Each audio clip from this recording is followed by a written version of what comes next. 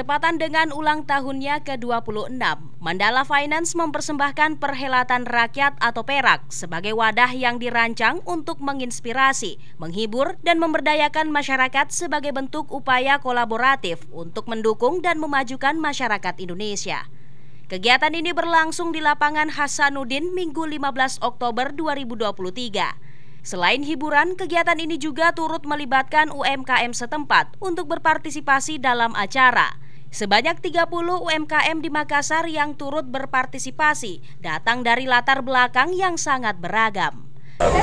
Jadi kegiatan ini uh, sebagai syukuran atas ulang tahun Mandala yang kedua adalah kegiatan untuk menumbuhkan UMKM yang ada di Kota Makassar. Jadi di Mandala bagaimana caranya kita tumbuh bersama-sama dengan UMKM yang ada di Kota Makassar. UMKM yang kami undang uh, sekitar 35 UMKM yang ada di Kota Makassar. Oke, jadi uh, salah satu bentuk dukungan Mandala terhadap UMKM adalah Mandala memberikan fasilitas uh, pembiayaan buat masyarakat yang ada di kota Makassar khususnya uh, masyarakat yang ingin pengen punya buka usaha baru. Atau punya usaha baru tapi pengen nambah modal Mandala bisa memberikan fasilitas pembiayaan jadi untuk pendampingan kita uh, memberikan pinjaman dana dan kita berharap mereka bisa produktif dengan bantuan dana yang dari kedai bakso locer bakso locer terus tanggapannya ini membantu sekali untuk UMKM bagus untuk kumpul-kumpul juga yang mau ketemu-ketemu boleh langsung ke sini. Terima kasih untuk uh, Mandala sudah membuka agar kita bisa dapat bekerja sama di sini. Semoga Mandala semakin maju, semakin jaya, dan lebih disenangi oleh masyarakat.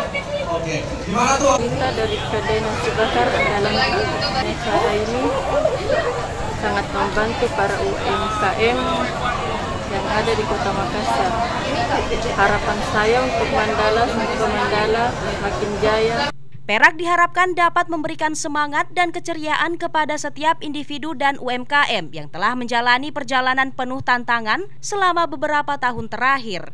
Di tahun kedua penyelenggaraannya, Perak hadir di 15 kota di Indonesia dan berlangsung dari bulan Juli hingga Oktober 2023, mengunjungi Cimahi, Purwokerto, Palembang, Palu, Banjarmasin, Makassar, dan sembilan kota lainnya dengan total partisipasi masyarakat yang ditargetkan mencapai 90 ribu pengunjung dan partisipan acara.